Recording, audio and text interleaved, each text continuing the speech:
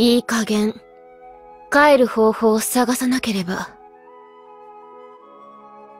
つまらんやつじゃ。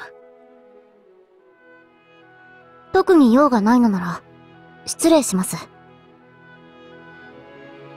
いつまでもここに留まっているわけにはいかないのに。仕方ない。仕事だもんね。頼み事？どうしようかな。え、報酬があるの？それならやります！